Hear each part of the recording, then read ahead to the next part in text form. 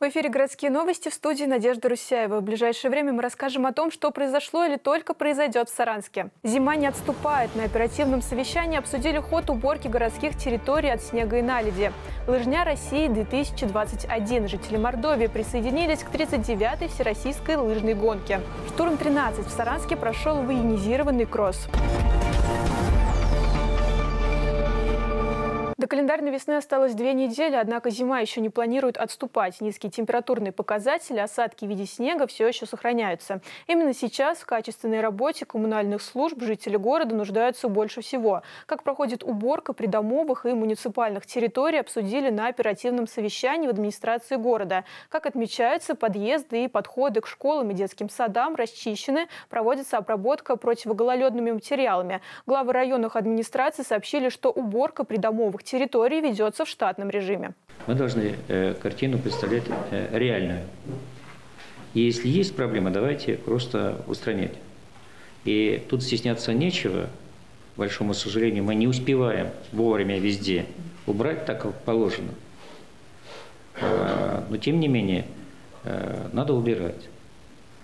И дороги у нас в лучшем состоянии, нежели состояние дворов. В круглосуточном режиме идет работа по расчистке от снега городских территорий, однако за минувшую неделю административно-технической инспекции по зимней уборке придомовых территорий выдано 13 предписаний, в том числе 4 выходные. Составлен один протокол за ненадлежащее содержание входной зоны торговой точки. Стоит отметить, что подобные рейды по проверке качества уборки прилегающих территорий к торгово-офисным помещениям будут продолжаться.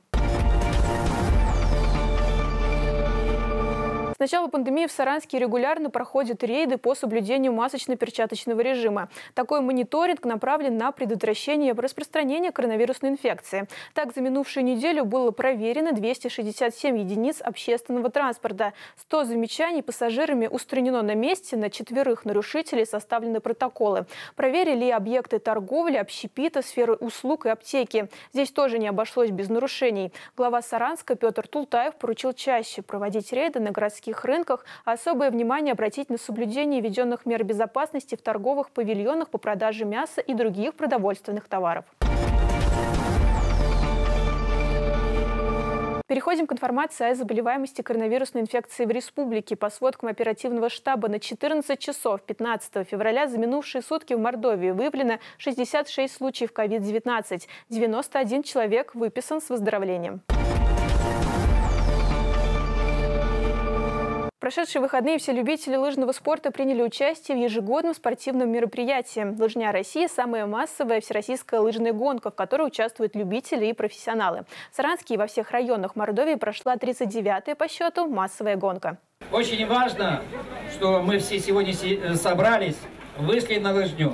И у каждого есть своя победа, и она обязательно будет. Победа уже в том, что мы заставили себя выйти из теплых насиженных диванов, мест, квартир, оторвались от компьютера, от телевизора и пришли сюда пообщаться, зарядиться хорошей, доброй энергией. Но, надеюсь, будет символичным, что после лыжни 2021 года, и все это начнется с Саранска, Коронавирус будет отступать семимильными шагами. Но при этом, конечно, меры предосторожности мы будем соблюдать. В этом году из-за пандемии организаторы отказались от традиционного массового старта. Состоялись этапы по группам и по времени. Любители лыжного спорта вышли на лыжню отдельно от профессиональных спортсменов. Саранские мероприятие прошло на территории лыжно-биатлонного комплекса. В Мордовии в течение четырех лет проводится военизированный кросс «Штурм-13». Прошедшие выходные 21 команда поборолась за звание лучших из лучших. Участники, школьники и студенты. Всего ребятам предстояло пройти 19 этапов. Протяженность трассы 3 километра. Проверка на э, мужественность, стойкость э, значит, участников. Э, ну, будем считать так, это этап подготовки к службе в вооруженных силах. Ребята на очередном этапе испытывают значит, свою э, сноровку, свою силу, э, свою волю на э, этих соревнованиях. Все этапы прошли на открытой местности. В инизированном кроссе приняли участие не только жители Саранска, но и молодежь из районов. По окончанию кросса определился и абсолютный чемпион. На этот раз первым стала команда МВД по Республике Мордовия. На втором месте восьмая школа, а на третьем – Атяшевский аграрный техникум.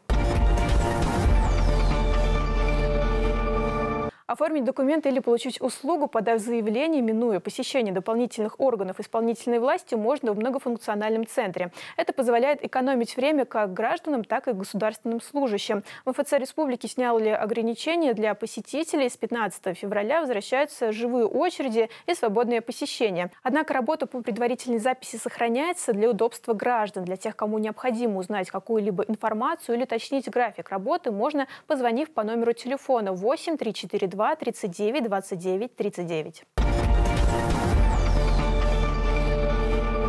В городе идет поэтапная уборка дорог от снега и наледи, чтобы избежать рисков аварий в гололед. Так, по сообщению Саранской мэрии, на отдельных участках дорог в Ленинском районе города 15, 16 и 17 февраля будет исключена стоянка транспортных средств в участках улиц Попова и Сиратской. В связи с этим водителям рекомендуют заранее позаботиться о парковке своих автомобилей.